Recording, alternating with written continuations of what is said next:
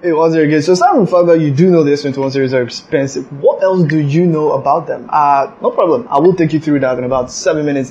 This time around, I'll try to stick to the time. So, uh, I'm going to be talking based on what was announced at their packed event last week since we've not gotten to use the phones yet, as the phones aren't even available yet. So, we're going to be talking based off of that. So, start the timer right there and let's begin. First of all, they're cheap compared to last year's S20 series. Samsung slashed about $200 off the prices this year. And uh, yeah, it was really good. So we'll start with that, but let's start with the small boys first. Three versions were announced, the S21, S21 Plus, and the S21 Ultra. Start with the S21 and the S21 Plus. They're more similar than they're different. The major differences lie in the display and the battery. The differences are the S21 has a 6.2 inch display with a 4000 mAh battery, whilst the S21 Plus comes with a 6.7 inch display with a 4800 milliamp hour battery. They're similar in the remaining aspects, like they both have an Infinity O, small hole punch you see at the top, Infinity, uh, Infinity, they're similar in the remaining aspects, like they both have an Infinity O dynamic AMOLED display with an adaptive refresh rate of 48 Hz to 120 Hz. We'll talk about the adaptive refresh rate in a moment. They both come with 8 gigs of RAM with 128 or 256 gigs of internal storage. They also both have the Exynos 2100 5nm chipset or the Snapdragon 888 5nm chipset as well. Uh, the Snapdragon goes to US and China and the rest of the world gets the Exynos 2100. They both have a triple rear camera setup, which we'll talk about the cameras in a moment, and they're both IP68 dust and water resistant rated. Plus, there's no space for expandable storage. This 21's back design is a matte finish over plastic, which is going to cost you about 5,200 cedis here in Ghana. And the S21 Plus has a matte finish over glass, which is going to cost you 6,400 cedis here in Ghana. Now to the big boy, the S21 Ultra. The S21 Ultra is kind of like the S20 Ultra on steroids. The S21 Ultra has a slightly smaller display compared to last year's S20 Ultra with a 6.8 inch Infinity O Dynamic AMOLED Edge display. That's a lot. That's a lot for the display. Comes with an adaptive refresh rate of 10 Hz to 120 Hz, which I'll uh, still talk about in a moment. You have a lot of versions to choose from here. You have the 12 gig RAM with the 128 gigs of storage, or 12 gig RAM with the 256 gig of storage, or the 16 gig of RAM with 512 gigabytes of storage. That's that's more than enough. It's just a lot. It uses a 5000 milliamp hour battery. That's a lot of milliamperes, similar to last year's S20 Ultra,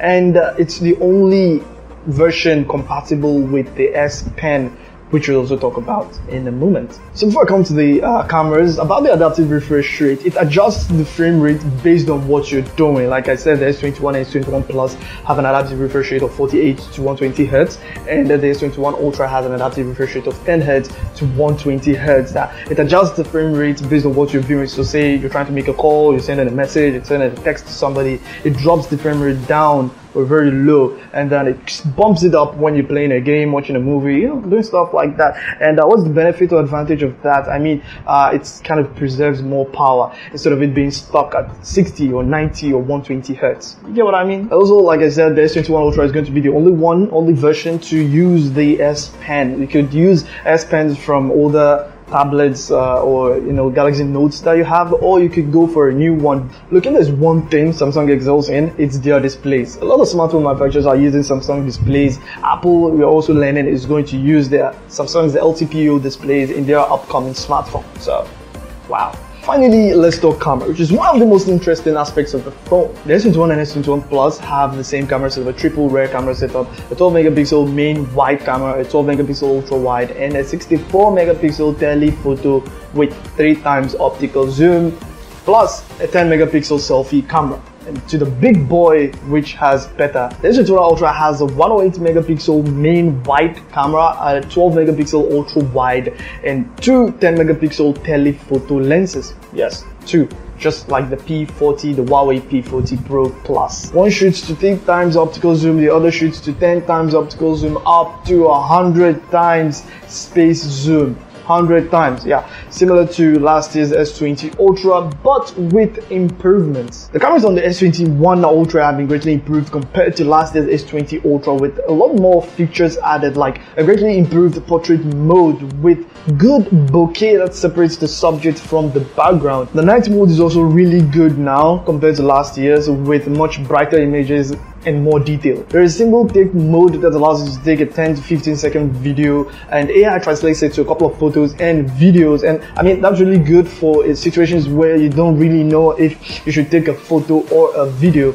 I mean that's really impressive. And then there's director's view which is like the cinematographer's favorite which allows you to record from multiple lenses at the same time including the selfie camera. So you could record with the selfie cam, ultra wide, wide and telephoto lenses at the same time switching through each of these as you record record. So just like last year's S20 Ultra, there's still 100 times space zoom, but this time around it's much better. So there's a zoom lock feature that allows you to lock on the zoom when you're zooming in that far so you can get a very stable shot. And with the new Buds Pro, which I'll talk about in a different video like right after this one. So subscribe and also hit the bell icon so you stay notified about that. Yeah, so with the new Buds Pro, you can shoot a video and record audio from both the phone and the mic of the earbuds at the same time. That's really cool, right?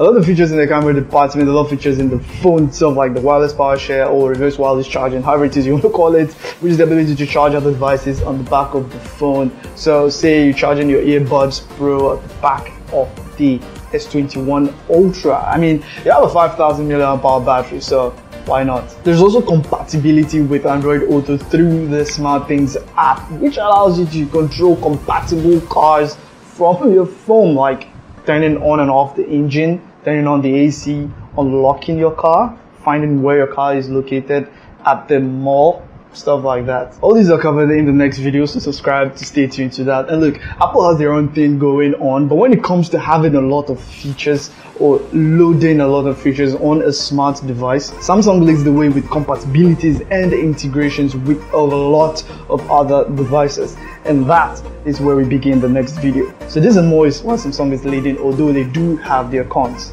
I'm Waz and I'll see you on the next video. Peace out. Stay safe.